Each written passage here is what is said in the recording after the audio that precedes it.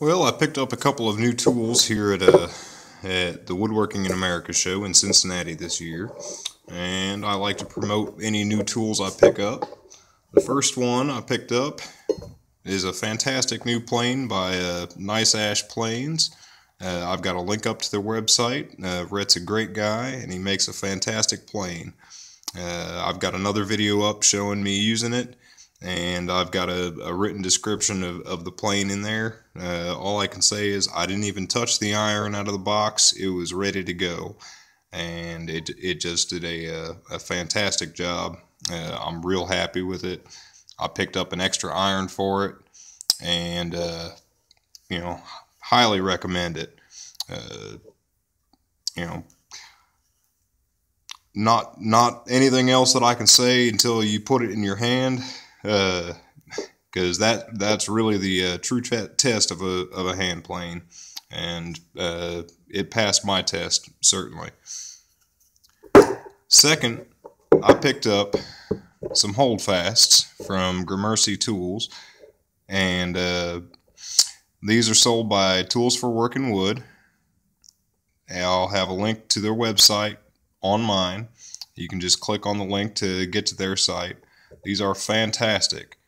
Uh, I've been working without them for a couple of years now, and been looking for uh, looking for one that'll fit in a three-quarter inch dog hole, which unfortunately the ones that Woodcraft sells do not, uh, as I as I found out when I purchased a few of those. Uh, how they work?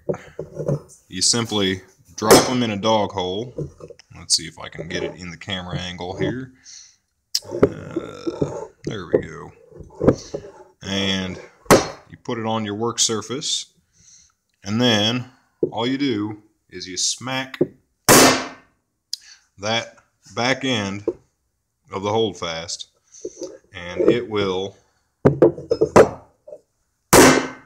hold fast.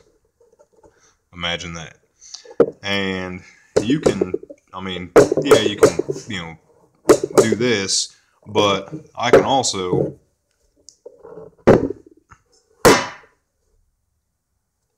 pick up the workbench if I tap it in hard enough.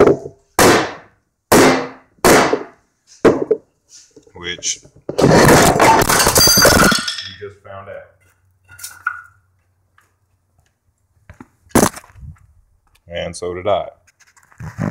But the work is still held. I think that's a, a pretty good testament to how well they work.